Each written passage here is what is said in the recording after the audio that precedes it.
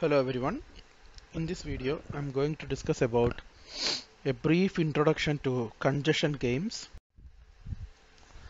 A quick recap of what we have learned covered so far.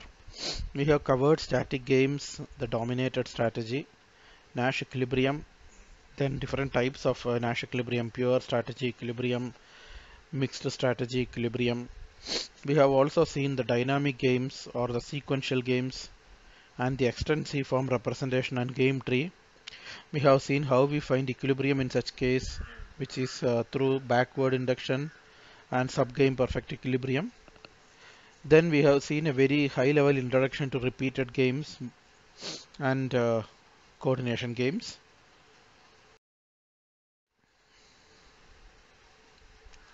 So in this session we will cover congestion games. Games with many agents.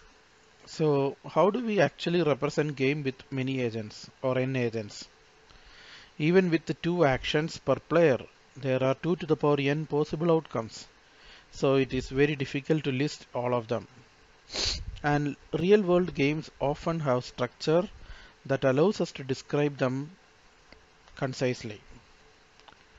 Uh, if you remember, we had an example in our first lecture Uh, or probably in the second lecture on a large number of population playing a game of revolt or not revolt. Even though there were 1000 1000 population n, we were still be able to represent them very concisely using set notations. That is what we are referring here.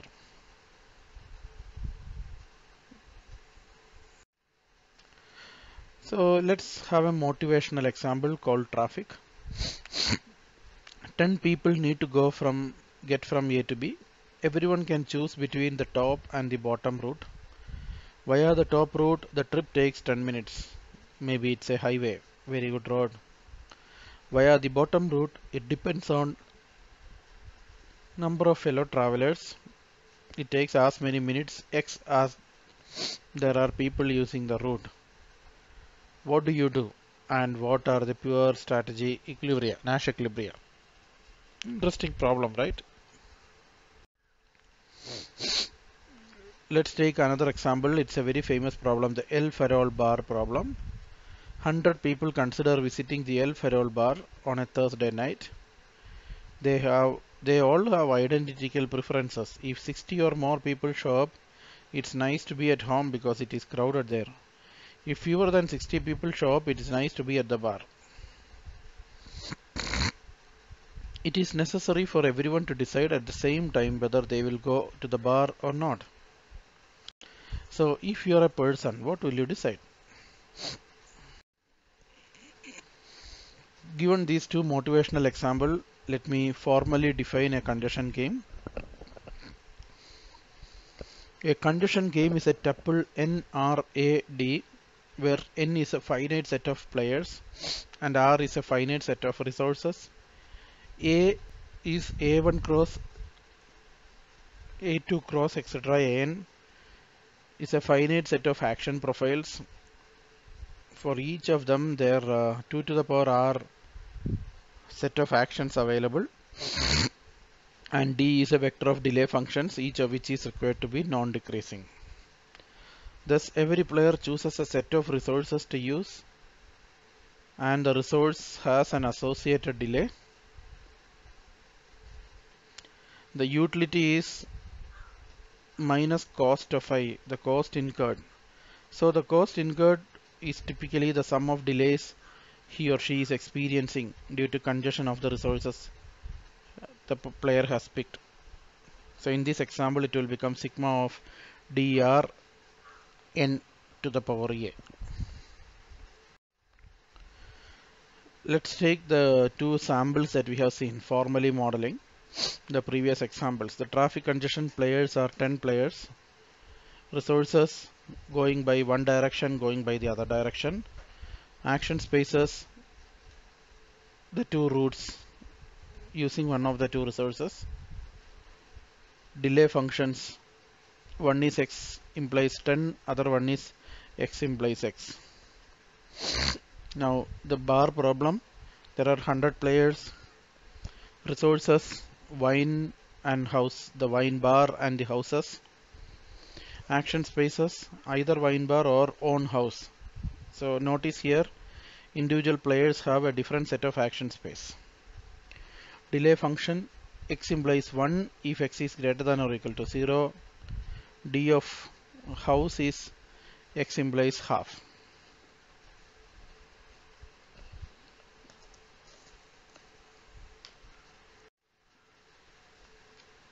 So let's solve a problem. It's a very common problem called multicast routing. In the multicast routing problem, we are given a graph G of G equal to V comma E, where number of vertices is V and number of edges are E. Each agent I must buy edges connecting source to destination S to T. The cost of an edge is distributed equally between agents that brought it. So the more agents buy it, the cheaper it is. The cost of the path is sigma c divided by e for all edges where c is the cost of the edge and n is number of agents that brought e. The goal is to minimize the cost. So let's take this example and assume there is a packet, there is a route from S1 to T1 and S2 to T2. So what are the possibilities and what will be an optimal answer? One option is agent 1's cost is 7 direct path. Agent 2 has a direct path so 7 and 6. Second option is agent 2 goes through a hop by hop path leading to 2 plus 4 plus 1 7. Now assume agent 1 also goes through that path then the route 4 with the cost 4 is shared among both of them so it is 4 divided by 2 so in fact, uh, this looks like the optimal answer, isn't it? Both of them have a minimum cost. Another example which is the opposite of multicast routing is traffic. And uh, the same context everything. The delay on the edge is proportional to number of agents. So the only difference is cost of using the path is sigma c times e, not n, not c divided by n this is very common in especially in I have seen in Singapore based on the traffic the uh, toll amount increases on the particular time of a day. So you see here direct path is 7 and 6. One person using a shared path is 2 plus 2 plus 1. Now when two people are using the shared cost becomes double. The path 2 where both of them share becomes double. So we can understand probably what is the best way for both of them. General congestion games. So assume there are four cities, Roma, Milano, Napoli and Salerno. Salerno. Resources are 1, 2, 3, 4 roads. Players are two drivers, one in Roma and one in Milano. Which road should I choose to reach my destination? Player A wants to go to Salerno and he has two options road 1 followed by road 2 or road 4 followed by road 3 player B wants to go from Milano to Napoli he also has two routes 1 comma 4 and 2 comma 3 what about the payoff so let's take uh, one approach smallest index road first so Roma A will choose 1 over 4 B will choose again 1 over 4 Assume cost of the roads are given like this. If one player is using road 1, the cost is 2. If two people are using road 1, the cost is 3. If one person is ro choosing road 2, sorry, uh, road 2, cost is 1. Two people are using road 2, cost is 4. So, given the cost, what is UA? 1 is shared by 2 people, so C1 has to be of C1 of 2. 3 plus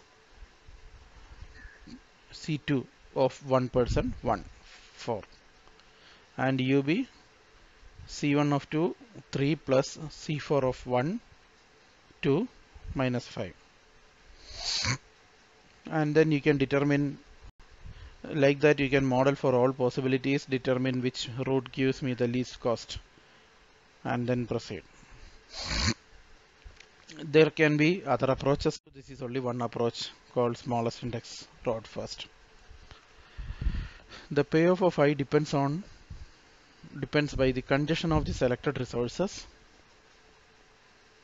For each uh, resource there is a cost. Cost is a function of n, ck of n. There are a few uh, models or types of congestion game. Symmetric congestion game where SI are all same and payoffs are identical symmetric function of n minus 1 variables or single choice congestion game each player can choose only one resource any one in the resource set or subjective congestion game for example I may be early for a movie and I really want a traffic jam so that I can enjoy some more time on the road listening to some radio so it may be good for me to have a traffic jam versus someone else who is hurrying for a job or a class. Then network congestion game. Each player has a starting and terminal node and the strategies are path in the network. We have seen plenty of examples in this uh, video. Crowding game, single choice subjective congestion game. And weighted crowding game. Each player has different weight upon condition. In fact you can relate there are a lot more you can relate them. Now every game has at least one mixed Nash equilibrium. A game with a pure equilibrium is better than one with mixed isn't it? So Rosenthal in 1973 has uh, developed a theorem. Every general congestion game possesses at least one pure Nash equilibrium and uh, I personally believe all mathematicians and their results so I never discuss the proofs. So the class of con general congestion game is nice. We know that there is a class of game for which it is possible to find a pure Nash equilibrium. Total of R resources nk is the number of players that in the state S choose the resource k and condition called ck.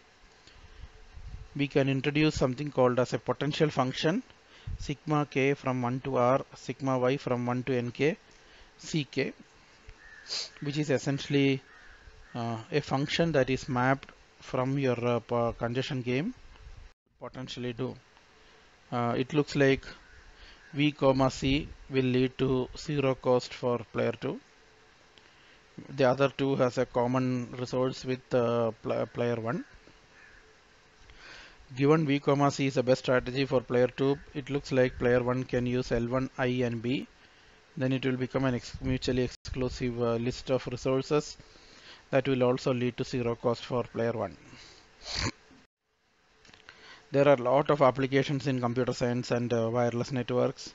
Things like uh, multi-agent systems for resource sharing, distributed systems and load balancing among unreliable resources, CDMA systems, cognitive radio networks. So interested uh, people can go to Google Scholar, type congestion game and your area of research you will get plenty of uh, papers. There are some useful uh, YouTube references here. Uh, I suggest you to go and watch. And uh, with that, let me thank you for today.